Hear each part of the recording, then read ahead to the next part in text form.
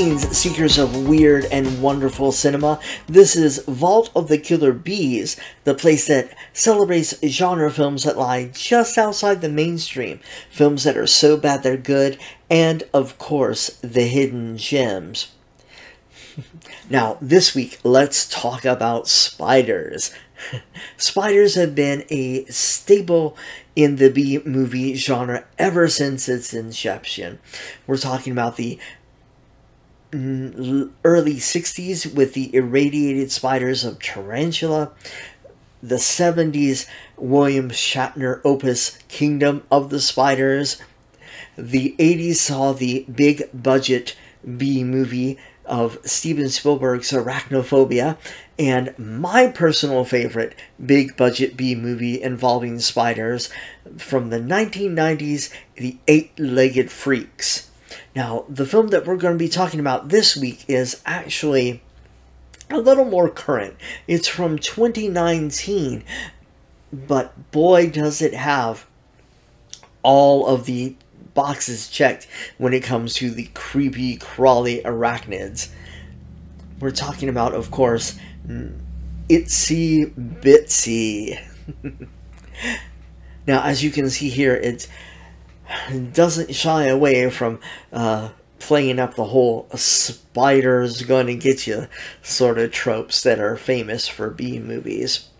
This film was actually uh, conceived as a Kickstarter campaign, and once it achieved funding, it was luckily uh, enough able to find distribution through Shout Factory.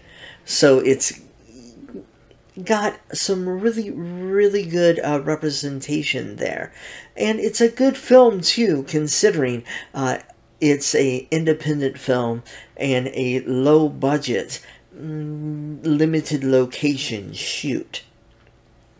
The film itself centers around an ancient relic, this dark egg that carries inside it the embryo of this sort of mythological spider god from a pan Asian country that um, not really named in the film, but the mythological roots of the spider um, are taken from both uh, Pan Asian mythology, African mythology, as well as Asian mythology to create a really, really interesting antagonist that uh, requires blood sacrifices to satisfy its arachnid thirst for blood. the film itself stars Bruce Davison, a prolific character actor who you may have recently seen playing a senator in the Netflix series Ozark, and you may also be familiar with him as another senator in the first X Men movies, X Men 1 and 2, back in the 90s. That here we go again with some more 90s references and a Spider movie too. Now, Bruce Davison's is presented with this ancient dark egg by his foster son, played by Treva Etienne, who gives a really, really great performance and lays the groundwork for the mythology and the origin story of this spider and its thirst for blood and the requirements of the blood sacrifices that uh, it needs throughout the film. The main plot line is actually centered around Elizabeth Roberts and her character named Kara, who is a recently hired stay at home nurse, or, actually, sorry, live in nurse for the Bruce Davison's character. And she has relocated from New York to rural California, where Bruce Davison lives, in order to sort of run away from a past tragedy that we are shown via flashbacks throughout the film. Now, unfortunately, this pra- past tragedy is wreaking havoc on Kara emotionally, uh, with her as well as her family. And the two child actors that play the son and the daughter in the film turn in tremendous performances. They're really, really great. Um, and they provide just the right amount of gravitas and uh, especially with the son sort of like teenage angst rebellion mixed with a little bit of resentment uh, for the emotional neglect that elizabeth roberts character is unfortunately uh, giving them. Now her character does provide, you know, food and shelter for them, but she's not there emotionally, unfortunately.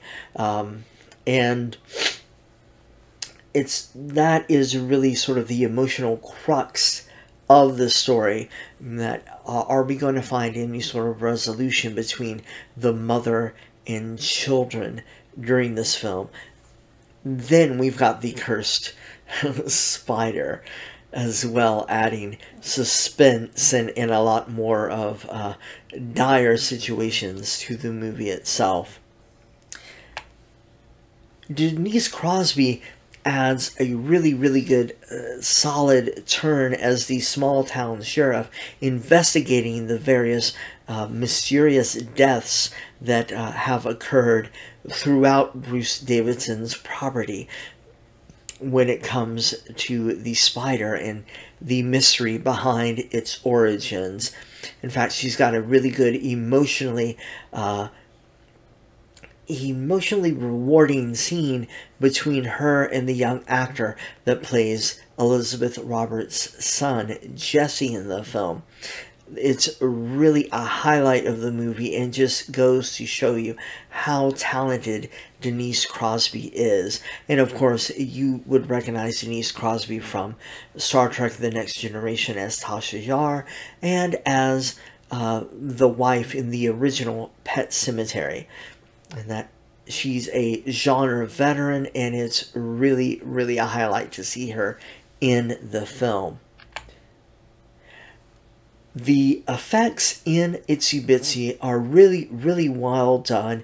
In fact, there are very little visual effects and the majority of the effects on screen are practical. As we can see here, we've got an overhead shot, and you can see that the spider uh, animatronic itself is about three and a half feet long, and it's just uh, it, it's really well done, and that is thanks to FX artist Dan Rebert and his creature design in the film. In fact, he actually took, uh, excuse me, he took references from Black Widow, Brown Recluse, and Wolf Spiders when creating this monstrous arachnid, and it really, really shows this spider feels like it could really exist.